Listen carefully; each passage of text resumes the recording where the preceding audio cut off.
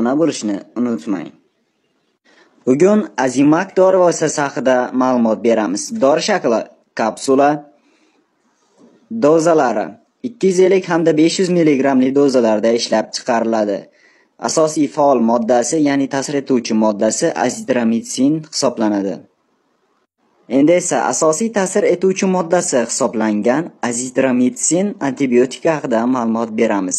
Makrolidlar guruhiga mansub bo'lgan keng ta'sir spektriga ega bo'lgan antibiotik hisoblanadi.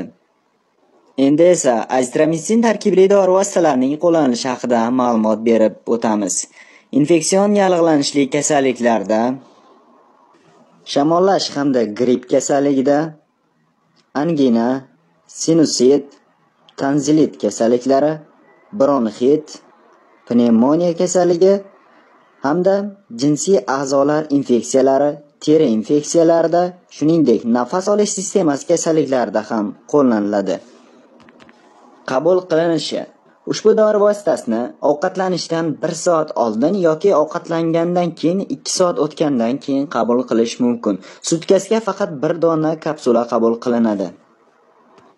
Nojo'ya ta'sirlari Boshqa dori vositalar kabi ushbu dori vositasi ham nojo'ya ta'sirlari mavjud.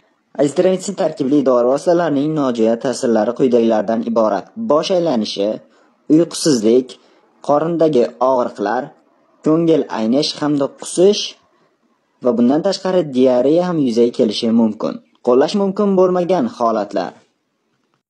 Quyidagi holatlarda ushbu dori vositalarini qabul qilish tavsiya etilmaydi.